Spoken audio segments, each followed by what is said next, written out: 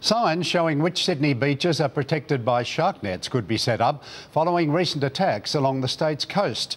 The move will be considered after Seven News discovered the information is being kept secret from nervous swimmers.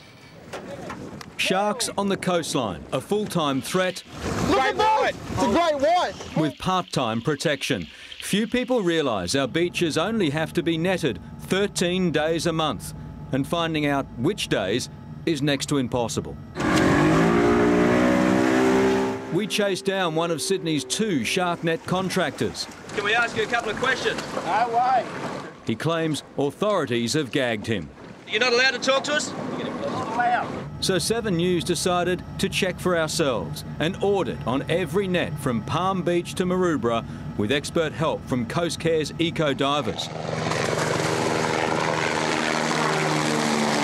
We found most in good condition, others torn and tangled, and some not there at all. Bronte, Avalon, Newport, and Dee Why, all unprotected. Officials say they're regularly moved to break shark territorial behaviour. Knowing that, I probably wouldn't choose this beach to come to. Yeah, why do they shuffle them around? I mean, they don't know where the sharks are going to be at which time. 25 Sydney beaches are in the program, but you never know which ones have the nets.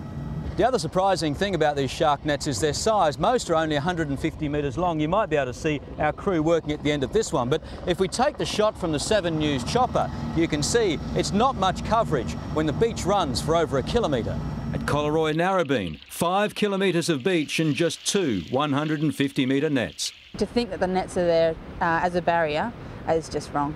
Still, the reality is no one has died on a Sydney beach since the program began. It can't be luck. 71 years is a long time to have a lot of luck. But the Minister says he will consider a beach sign system showing if nets are in or out. Some form of publicity could be made around that. I think that'd be a great idea, and then you can make the choice of where you want to go. Chris Reason, 7 News.